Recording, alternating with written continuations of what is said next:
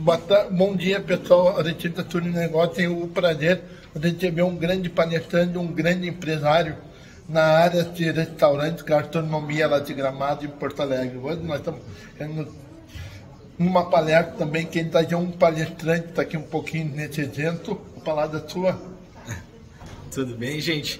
É, então hoje né, nós vamos falar um pouquinho sobre como, como a gente faz a jornada do hóspede, como a gente faz a jornada do cliente de restaurante, para que ele tenha surpresas ao longo da jornada e a partir daí ele possa é, ter uma experiência melhor, voltar, indicar, né?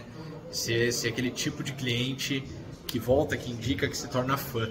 Né? Então a gente vai conversar muito sobre esse assunto de como fazer isso em jornadas longas, né? quando, quando a gente está falando de de hospedagem, de hospitalidade, né, de hotelaria, de restaurantes, e que não é aquela compra de 5, 10 minutos dentro de uma loja, mas sim aquelas compras como de um hotel que às vezes dura uma semana, 7 dias, 10 dias. Imagina como manter alguém satisfeito ao longo de 10 dias comprando de você.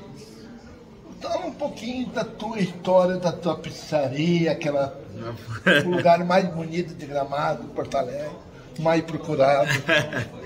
Ah, então, é, como eu cheguei nesse negócio de experiência do cliente, é, é legal porque eu, eu, sempre acreditei que a, as pessoas são formadas pelas experiências que elas têm ao longo da vida.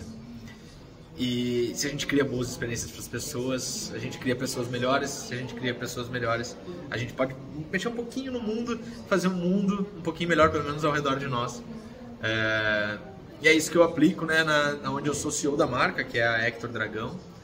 E, e, hoje a companhia tem uma pizzaria temática, uma hamburgueria temática. E o que, que a gente faz lá, né? A gente cria imersão. E a marca Hector, né? Se a gente falar da pizzaria, é hoje uma escola de magia, onde as pessoas têm a oportunidade de se sentir aprendizes de magia. E junto com o Hector, que é um dragãozinho que perdeu o poder do fogo, uh, recuperar o, o, poder do fogo dele e comer deliciosos discos de sabor. Né? Então, o que, que, o que, que você vive nos negócios da marca Hector?